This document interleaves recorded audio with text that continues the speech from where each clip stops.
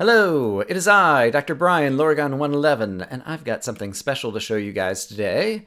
It is Snake in Minecraft.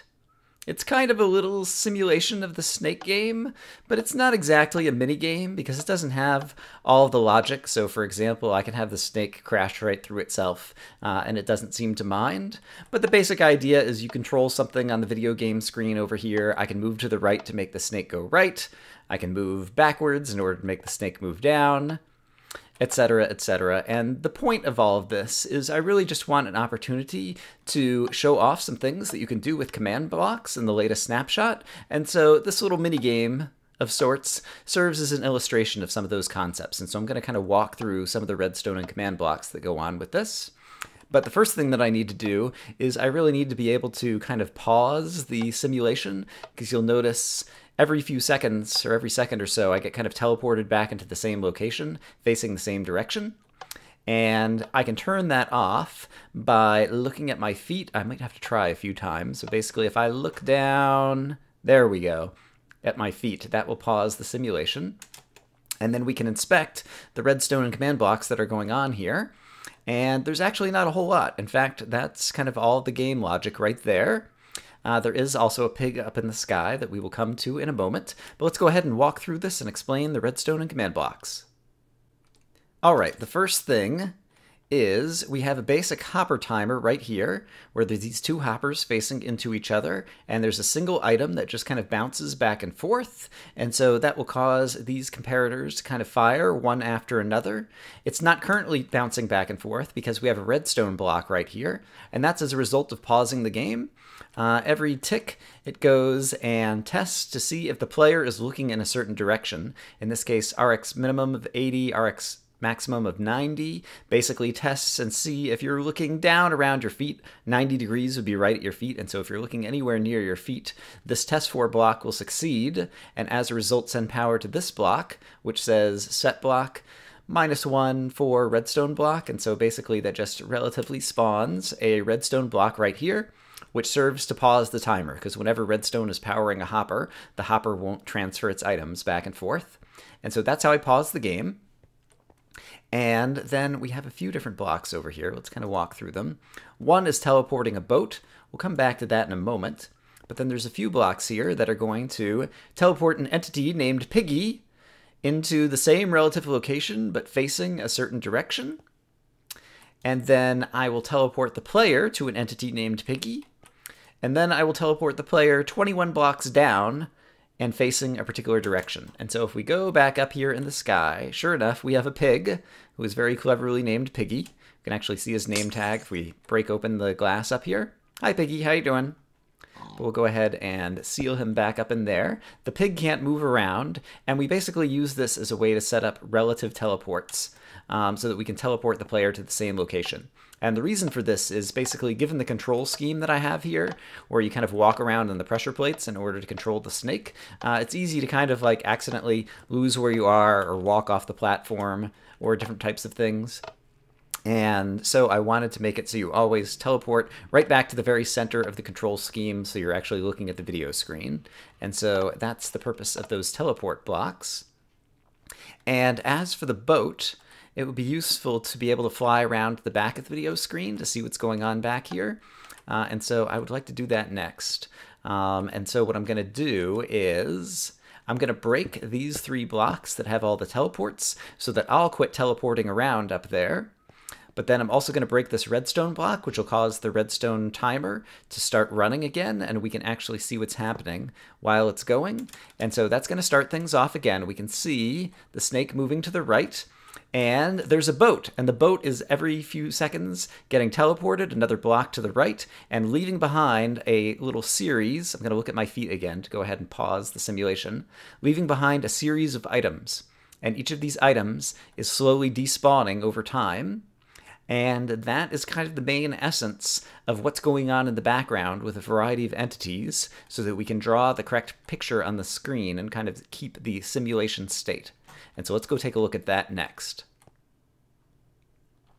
So the boat is kind of the head of the snake, and we already saw that there was teleport the boat negative one in the x direction here. This command block that I'm looking at right here uh, actually gets changed by the four pressure plate controls over here. And so, for example, if I move forward into this one, it will activate this command block, which says set block, command block, and replace a command block that teleports the boat one in the y direction. And so basically, it replaces that command block down there with one that will teleport the boat one up in the y direction. If I turn around over here, this one teleports the boat one downwards in the y direction. And if I look over here, this one teleports the boat negative one in the x, and this one teleports the boat positive one in the x. And so based on whichever pressure plate I've most recently stood up upon, that is going to be the command block that's down here that tells the boat where to teleport next. And so that's how we control the boat. And so every tick, the boat will teleport another one step in a particular direction. And then what do we do? We need to redraw the screen that's in front of the actual uh, boat thing that's going on over there. And so we fill the entire region with obsidian. Then we execute a command at entity type equals boat. So at the location of the boat, we will summon an item. And the item has a particular age. I think it's at age 6000 that items normally despawn. And so this has a no nice old age so that the item will despawn in just a few seconds. We've already checked out the filling of the obsidian. Also at the boat, we will set block of uh, relative location four blocks ahead in the Z to an emerald block, and so that ends up being the head of the snake. And then at every other item, which are all of the stone blocks that we are dropping off, uh, we will set block tilde 4 to stained hardened clay 5, and 5 just happens to be the color of this green that is kind of the body of the snake. And yeah, so basically the boat moves around. It keeps on summoning little items inside of it that are just uh, little stone items that will despawn after a few seconds. And then based on the location of the boat and those other items, we draw the appropriate thing on the screen. And that's kind of all there is to it, really. It's worth noting that in order to have the boat be able to teleport around and not be subjected to gravity, that there is basically a nice row of stone blocks here, and then above that there's a whole lot of rows of carpet. And carpet just has the nice property that you can throw an item up on it and it'll stay in a particular location. You can sit a boat up upon it and it'll stay in a particular location, but you can still teleport the boat all around and it doesn't mind traveling through the carpet. I showed off how you can look at your feet in order to cause the game to pause. If you want to restart the game, there is a button attached to a command block right here that will set a block to air. It's basically the redstone block that's next to the hopper timer. And so if I press this button, the simulation will start again. At this point, I've already broken the little teleporting blocks, and so I'm not going to get teleported automatically, but I can press this block and then just kind of restart the snake simulation the little block that I accidentally threw up there uh, is showing off on the map as well, but we can continue controlling the snake and moving all around once again. And so if you want to restart the game, you can always do that.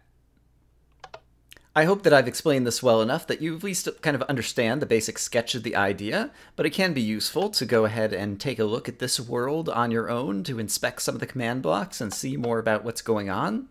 And so I could give you a world download, but world downloads, they're so Minecraft 1.7. Here we are in the 1.8 snapshots. And so rather than give you a world download, I will simply give you a command you can stick in a single command block in order to replicate this world on your own. And so let's go ahead and show that off now. You'll need to be using one of the Minecraft 1.8 snapshots. You can see in the bottom left, I'm in Minecraft 14 Week 8a.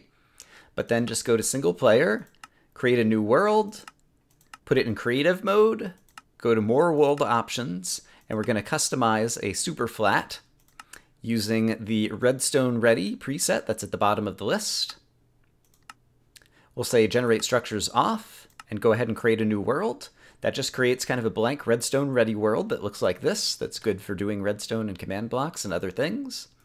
Gonna go ahead and grab a redstone block and I will type give at p command underscore block to give myself a command block. I will set down the command block, right click on it to interact, and paste in a gigantic command. And this command will be available to you via a link in the video description. So definitely check the video description to get a link for this command. But then once you've pasted that in, you can simply set down a piece of redstone and break it once again. And this will start building everything that we just saw in this world simulation. And so if we stand around up here, yeah, there's that. There's all the carpets being built. Uh, there's the redstone on the floor that was controlling everything. There's an item going into the hopper. And here we go. There's our snake simulation and it's up and running, and you can play around with it yourself. Once again, if you want to pause the game in order to look at the redstone, simply keep scrolling your mouse down to look at your feet until the game finally recognizes that you're looking down. That'll pause the game, you're in creative mode, and you can fly around and inspect all the command blocks for yourself. I hope that you guys enjoy it. Once again, I am Dr. Brian Lorgon111, and I've got some other videos with other redstone tutorials, command block inventions, and scoreboard tutorials in a playlist. You can find the playlist linked in the description of this video. And so yeah, check those things out. If you'd like to see more, you can always subscribe to the channel. I hope that you guys are having a great day, and I will see you again soon. Bye-bye.